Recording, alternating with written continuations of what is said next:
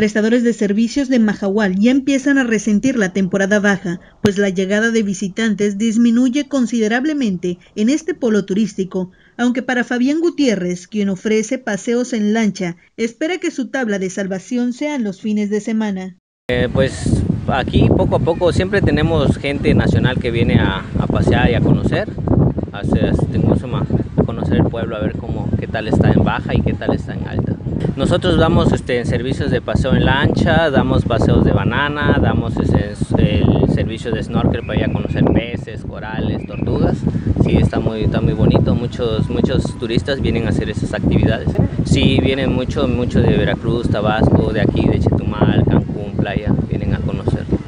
Tan solo de esta actividad dependen al menos 15 personas y sus familias, quienes se las han visto difícil en este periodo vacacional debido a que el mal tiempo termina ahuyentando a los vacacionistas. Tal fue el caso de los días perdidos a causa del cierre de la navegación por el paso de la tormenta Franklin y posteriormente a su impacto. se cierra el puerto, nos avisa Capitanía de Puerto y ya nosotros este, subimos embarcaciones y esperamos que nos vuelvan a abrir. De dos a tres días nos abren otra vez el puerto y seguimos trabajando.